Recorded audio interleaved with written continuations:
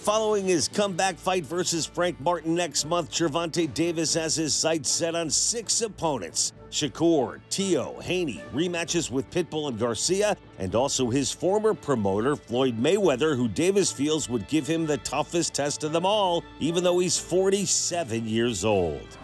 One of Gervonta's hit list opponents, the unbeaten Shakur Stevenson, will return to his home of Newark, New Jersey to make the first defense of his WBC lightweight belt versus Artem Harutyunyan on July 6th.